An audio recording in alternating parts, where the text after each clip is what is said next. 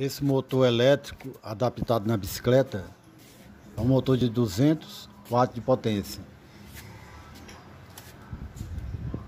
Vou mostrar o funcionamento dele aqui.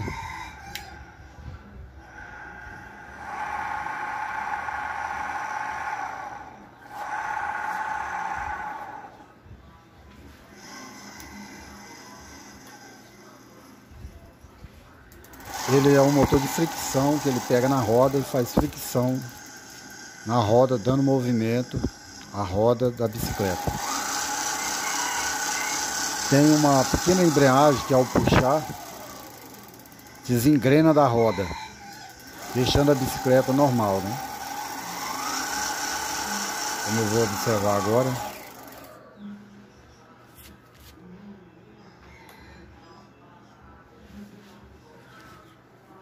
Puxou a alavanca e ele afastou, né? Olha, ele está funcionando agora sem movimentar a roda que está afastado, né? Agora o motor vai ser engrenado na roda. Agora funcionando, movimentando a roda.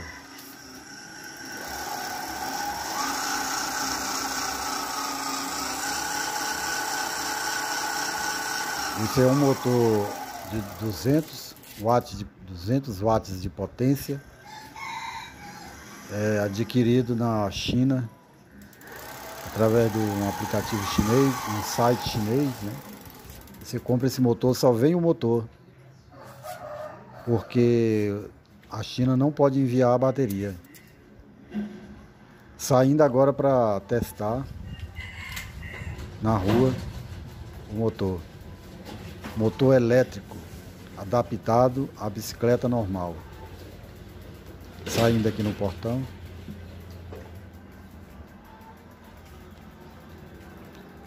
Essa é, é minha rua.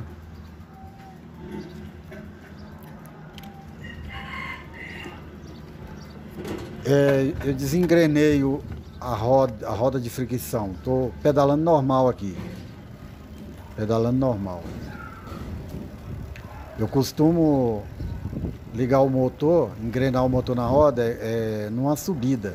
Ou então quando eu preciso andar mais rápido um pouco.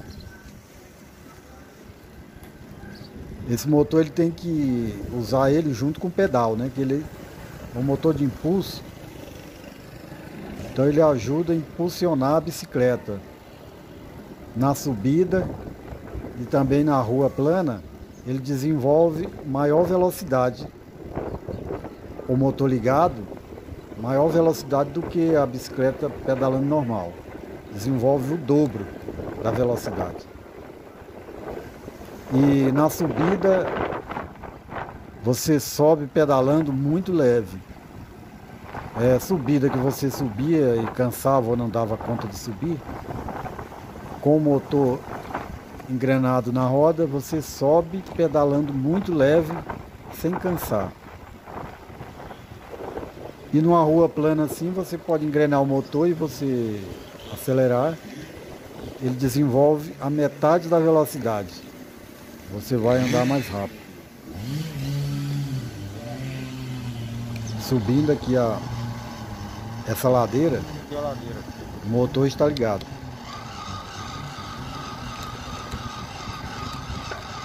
Sobe muito rápido as ladeiras sem você cansar, né?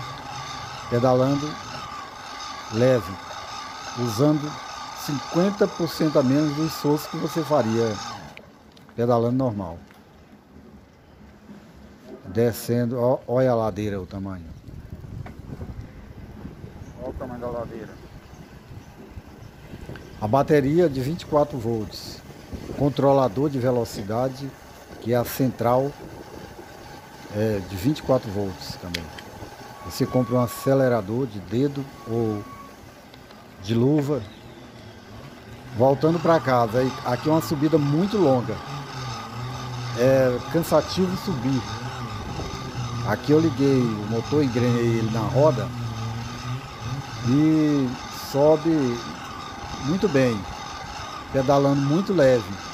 É uma longa subida, mas com o motor ligado, a gente sobe pedalando leve. Lembrando que esse motor ele tem que ser usado junto com o pedal, um auxiliado pedal. Né? Uma subida. 24 volts a bateria. Bateria de lítio. Subindo a subida longa. A bateria não está muito boa. Ela está com 30% da sua capacidade, né?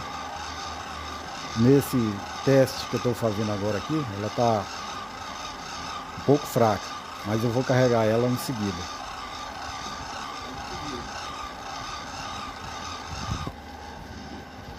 É, virando aqui,